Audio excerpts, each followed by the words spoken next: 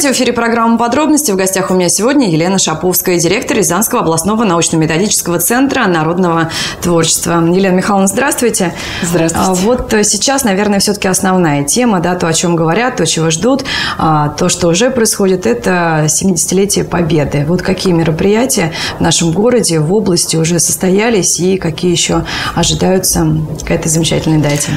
Э, ну да, действительно, э, все учреждения культуры, Э, учреждения образования э, подготовлены к этой дате. Действительно, год юбилейный, и мне хочется сказать, что вот э, все эти мероприятия, все проекты, которые мы планировали еще в прошлом году, они успешно реализуются на территории Рязанской области, и не только Рязанской области, но далеко за пределами ее.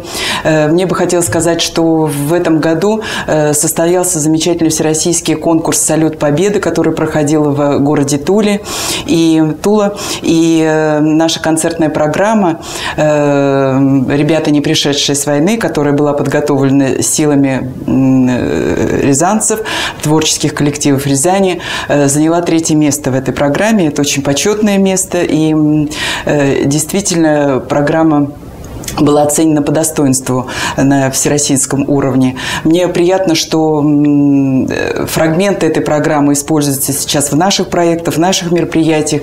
И хотелось поблагодарить руководителя э, народной студии «Шанс» города Скопина, э, дети которых, э, молодежь этого коллектива принимала самое непосредственное участие в подготовке и проведении этой программы. Безусловно, очень много мероприятий подготовлено. Э, прошел замечательный фестиваль-конкурс э, детских хореографических коллективов «Катюша», где были представлены э, хореографические коллективы 24 муниципальных образований. И вот эти танцевальные коллективы подготовили замечательные композиции, посвященные Великой Отечественной войне. И нам очень приятно, что эти программы, эти композиции танцевальные используются сейчас во всех мероприятиях, во всех муниципальных учреждениях культуры, э, в, праздничных мероприятиях. Э, хотелось бы сказать и о сельских учреждениях, и населенных пунктах, где нет стационарных клубных учреждений, и тем не менее есть учреждения культуры, которые находятся в муниципалитетах. Это автоклубы, и ими подготовлены большие программы, которые обслуживают те населенные пункты. И мы, конечно, конечно, понимаем, что э, в селах, в деревнях живут э, сейчас в основном э, труженики тыла и ветераны Великой Отечественной войны. И для них, конечно, большой подарок выступление творческих коллективов с хорошей программой, с театрализованной программой. Вчера буквально прошло у нас подведение итогов таких программ. И мы благодарны этим людям, работникам культуры, которые делают очень значимое дело, навещая Э, встречая и поздравляя ветеранов э, Великой Отечественной войны и тружеников тыла. Безусловно, кульминационным моментом в городе Рязани будет э, замечательный проект, который подготовлен э, Министерством культуры и туризма Рязанской области совместно с различными ведомствами, ведомствами министерствами и учреждениями. Это концертно-театрализованная программа э, «Наша победа, наша гордость», которая состоится с 4 по 8 э, мая в Ледовом дворце Олимпийский. Мы приглашаем всех жителей города Рязани, всех гостей города Рязани э, на эту программу, потому что это действительно явление и проект очень уникальный. Э, там будут представлены, э, будет представлена практически вся история Великой Отечественной войны, начиная с 22 э, июня, с выпускного вечера когда вся страна узнала о том, что началась война. И заканчивая победным салютом, победным маршем э, на Красной площади. Э, и я думаю, что эта программа в первую очередь будет полезна для детей младшего возраста, для школьников, для молодежи, которые, может быть, не совсем знают историю Великой Отечественной войны, не совсем знают те события, которые происходили в те годы. И для них будет очень познавательно и увлекательно э, вот это это путешествие в историю. А вот как вообще дети, молодежь, да, с удовольствием принимают участие в подобных мероприятиях? То есть стараются они что-то узнать, да, как-то больше проникнуться вот этим? Э, вы знаете, несмотря на то, что прошло уже 70 лет, но тем не менее наши дети, рязанские дети, э, очень активно вникают в эту э, тему, в историю Великой Отечественной войны и с удовольствием делают постановку, участвуют в театрализованных композициях. И отдать должное, наверное, руководителям этих коллективов, родителям, которые э, разъясняют, э, изучают вместе с детьми э, вот все события, которые проходили, проходили 70 лет назад. И творчески все это очень реализовано, патриотично, красиво, э, с хорошим глубоким смыслом. Э, и я точно скажу, что вот эта тематика, э, эта история, она проходит через сердца, через душу молодого поколения поколения. А вот как быть самым старшим поколением, да? То есть вот ветераны, которых остались единицы в нашем городе, да вообще, наверное, да? А вот как быть с этими людьми? То есть как они воспринимают праздник и вообще что вот делается, ну, для того, чтобы им было хорошо? Ну, конечно, я скажу, что очень тяжело ветеранам Великой Отечественной войны э, присутствовать на наших мероприятиях, но тем не менее они э, приходят, стараются, э, приходят их родственники, но для этого существуют в клубной деятельности в учреждениях культуры разные формы формы работы с, ветеранами Великой Отечественной войны. И э, мы э, провели несколько проектов, э, которые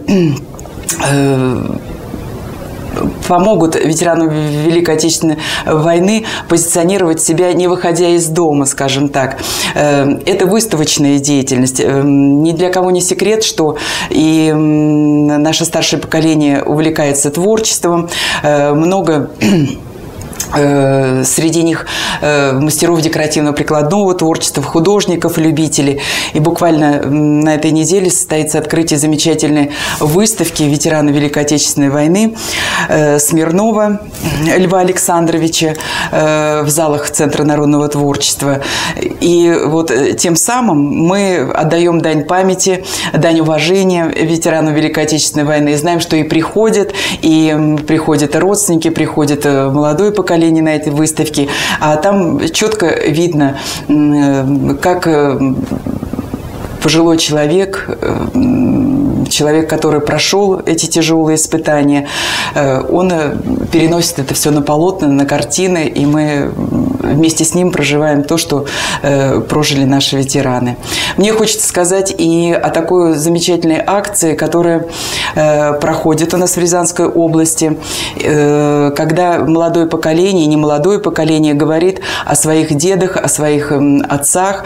Э, буквально недавно прошла замечательная выставка «Мой отец русский офицер», тоже организованный Центром народного творчества, где мы э, говорили о э, участнике Великой Отечественной войны, войны лейтенанте Коростылеве Василия Ивановича, который прошел войну, э, который награжден медалями, орденами.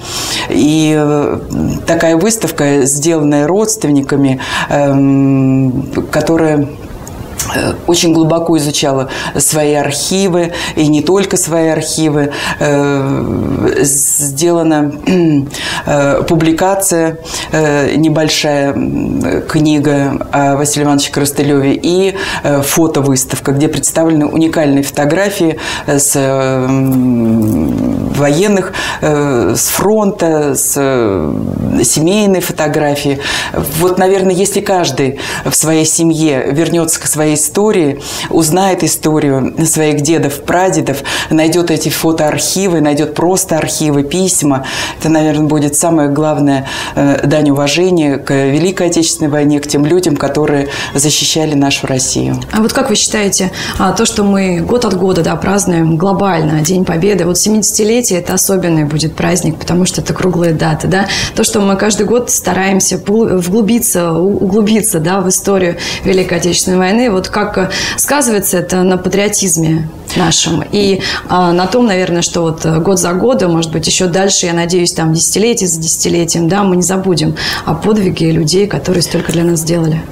Я думаю, что э, когда есть целенаправленная политика правительства России, правительства Рязанской области, которая нацелена на наверное, поддержку э, изучения э, пропаганды, истории, э, правильной истории э, России, Рязанского края. Э, вот все проекты, которые реализуются э, на территории нашего региона, они очень взаимосвязаны, они очень патриотичны. И не обязательно, если эти проекты посвящены именно Великой Отечественной войне, если эти проекты вообще э, направлены на сохранение э, народной культуры, культуры э, в целом, я думаю, что дети, участвуя в этих проектах, а у нас достаточно большой процент молодежи, детей задействован в этом отряде самодеятельного художественного творчества, профессионального творчества.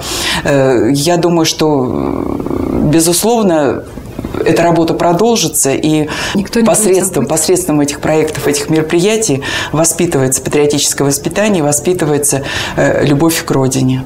Спасибо вам, Елена Михайловна. Нашим телезрителям напомню, в гостях сегодня была Елена Шаповская, директор Рязанского областного научно-методического центра народного творчества. Это программа «Подробности». Увидимся.